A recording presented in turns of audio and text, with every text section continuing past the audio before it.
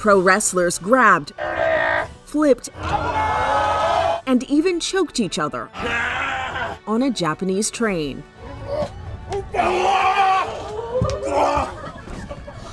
75 passengers paid to have a private, up close view of two established fighters duke it out in the narrow aisles of a bullet train.